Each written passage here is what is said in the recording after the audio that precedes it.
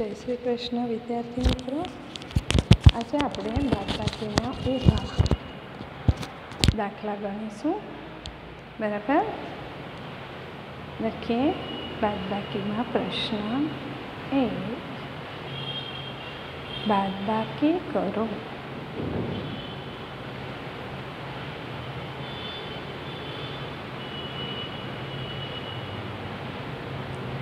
બાદ એટલે ઓછા કરવા બાકી એટલે બાકી રહેલા. એ જવાબ રહેશે. હા? ચાલો બે ખાના છોડીને અહીંયા લખજો. પાંચ ઓછા, પાંચના ક્રોસના ખાનામાં ઓછા ત્રણ. અહીંયા ફૂટપટ્ટી વડે લંબચોરસ દોરવાનું છે આપણે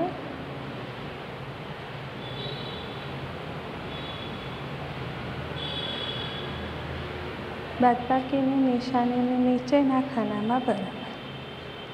સરવાળામાં કરેલું સરવાળાની નીચે બરાબર. અહીંયા બાદબાકીની નીચે બરાબર.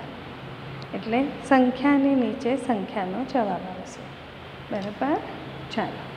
મારી સાથે જમણા, પછી સામેના પાને હોમવર્ક આપવાનું છે. પાંચ ગણીએ, ચાર એકા ચાર ને એક પાંચ. ચાર એકા ચાર ને એક પાંચ ત્રણ કાપીએ એક બે ત્રણ કેટલા બાકી રહ્યા તો એક અને બે લખો બે જવાબ બે પોઈન્ટ લઈ લો ત્રીજા ખાનામાં લખજો છ ઓછા બે ઓછાની નીચે બરાબરની નિશાન લખવામાં ભૂલ નહીં થાય. એકદમ વ્યવસ્થિત ટીચર પોઈન્ટ લેવડાવે છે એમ પોઈન્ટ લેજો તો બરાબર લખાશે.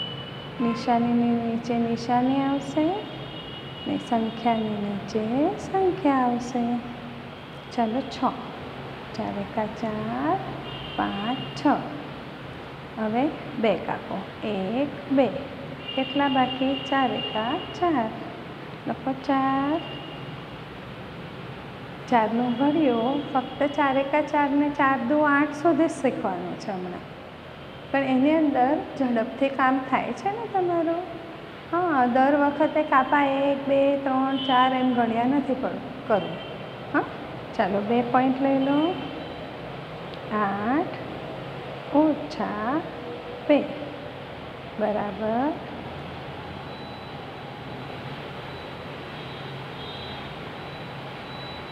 બે ખાનાનું લંબચોરસ એક જ સેકન્ડમાં દોરાઈ જાય છે. એટલે દોરીશું જ, કામ સરસ કરીશું. આઠ ઓછા બે. આઠ કાઢો જોઈએ ચાર એકા ચાર ચાર દુ આઠ. બે કાપો, એક, બે.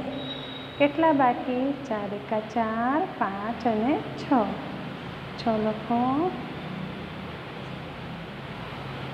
ચાલો. આ લંબચોરસની નીચેના ખાનામાં પોઈન્ટ લે. બીજા પોઈન્ટની નીચે લખીશું. છ ઓછા છ. બરાબર. નિશાનીની નીચે નિશાની. બે ખાનાનું લંબચોરસ દોરીશું. પરીક્ષામાં આ જ રીતે દાખલા પૂછીશ. ટીચરે ખાના દોરેલા જ હશે. ચાલો છ કાઢીએ ચાર એકા ચાર પાંચ છ છ કાપીએ એક બે ત્રણ ચાર પાંચ છ કંઈ બાકી રહ્યું નહીં રહ્યું શું રહ્યું શૂન્ય તો શૂન્ય લખો છની બાજુમાંથી બે પોઈન્ટ લખો નવ ઓછા છ. બરાબર. લંબચોરસ દોરીએ હવે તો પાક્કું આવડી ગયું છે. હા ને ચાલો નવ કાઢીએ ચાર એકા ચાર ચાર દુ આઠ ને એક નવ. નવમાંથી છ કાપીએ. એક, પહેલું અહીંયા એક, બે, ત્રણ ચાર, પાંચ, છ. કેટલા બાકી એક, બે ને ત્રણ.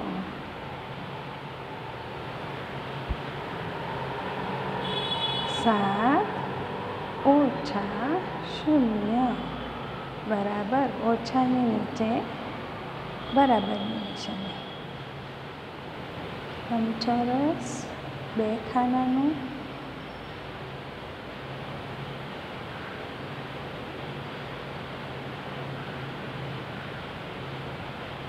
ચાલો સાત. સાત પાડો ચાર એકા ચાર. પાંચ, છ ને સાત. સાતમાંથી કોઈ બાદ નથી કરવાનું. કશું નહીં બાદ કરીએ તો સાતના, આ સાતના સાત. સાત લખો. સાતમાંથી કશું નહીં જાય તો સાતના સાત. લંબચોરસની નીચે પોઈન્ટ ને બીજા પોઈન્ટને નીચેથી લખજો ચાર ઓછા ચાર. બરાબર.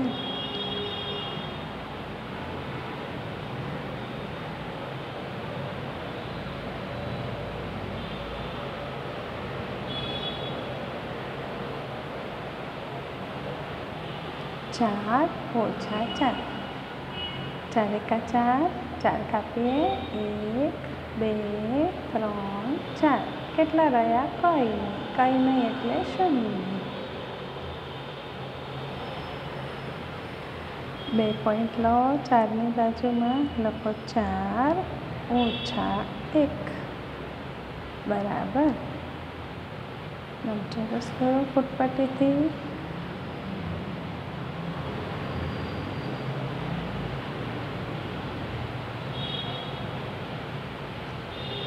ચાર એકા ચાર એક કાપીએ, એક કેટલા રહ્યા એક બે ને ત્રણ.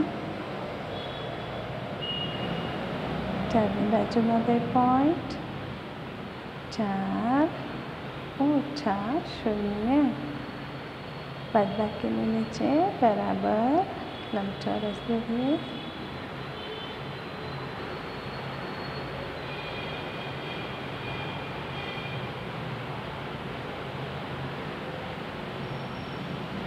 ચાર એકા ચાર ચારમાંથી કંઈ નહીં ગયું તો ચારના ચાર, તો ચારના ચાર. અહીં મેં ત્રણ મેજિક બતાવેલા છે. મેજિક એટલે યાદ રહી જાય તો બધી સંખ્યામાં કામ આવે. કહું છું, કયા મેજિક જો સંખ્યામાંથી સંખ્યા જાય, કોઈ પણ સંખ્યા હોય, છમાંથી છ ગયા, નવમાંથી નવ ગયા તો જવાબ શૂન્ય જ આવે. જે સંખ્યા આપેલી હોય, એમાંથી એક સંખ્યાને બાદ કરાય તો જવાબ શૂન્ય જ આવે. હવે જે સંખ્યા આપી હોય, એમાંથી એક ઓછું કરાય તો જવાબ એની આગળની સંખ્યા આવે. એક, બે, ત્રણ ને ચાર. તો ચારની આગળ શું આવ્યું? ત્રણ. તો ત્રણ આગળની સંખ્યા જવાબ હવે જે સંખ્યામાંથી શૂન્ય બાદ કરાય તો એની એ જ સંખ્યા જવાબ આવે. એની એ જ સંખ્યા જવાબ આવે ઓકે, ચાલો આગળ આપું છું હોમવર્ક. આગળ આપું છું હોમવર્ક. તમારે ઘરે કરવાનું છે ને જાતે કરવાનું છે? મમ્મી, પપ્પાની મદદ વગર. બે પોઈન્ટ છોડી દઈએ.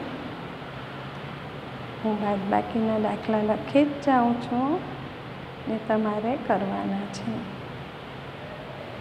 તમારે જાતે કરવાના છે. આ હોમવર્ક છે. બરાબર? એક પાનું ટીચરે કરાવ્યું ને એક પાનું હોમવર્કમાં કરવાનું છે.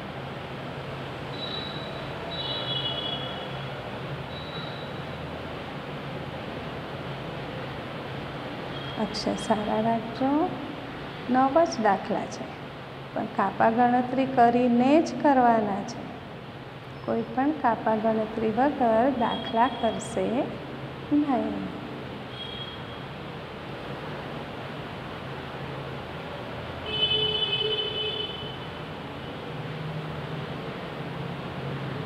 લખી કાઢું છું. તમે જોઈને લખો. ને હોમવર્ક શરૂ કરી દો હા પરીક્ષામાં આ દાખલાઓ પૂછાશે. તમને આવડવા જોઈએ. તમને આવડવા જોઈએ. એ પણ કાપા ગણતરી કરીને. તો જ હું કહીશ કે બચ્ચાઓ મોટા થઈ ગયા અને ત્રીજા ધોરણમાં મોકલીશ. જે છોકરાને કાપા ગણતરી કરીને દાખલા નહીં આવડશે, એ છોકરાઓ હજી બીજા ધોરણમાં જ રહેવા લાયક છે. પહેલાં ધોરણમાં જ ખરા. એ લોકોને બીજા ધોરણમાં મોકલવાના જ નથી. હું જ બીજા ધોરણની ટીચર છું. હું લઈશ જ નહીં ને તમને. જે કાપા ગણતરી કરશે નહીં, એને બીજા ધોરણમાં હું લઈશ જ નહીં. એટલે પોતે કાપા ગણતરી કરીને ટીચરની જેમ જવાબ લખવાના છે. હા ને?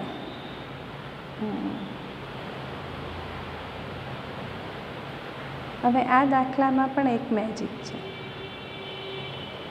બે ને બે કેટલા થાય? ચાર. બે ને બે કેટલા થાય? ચાર.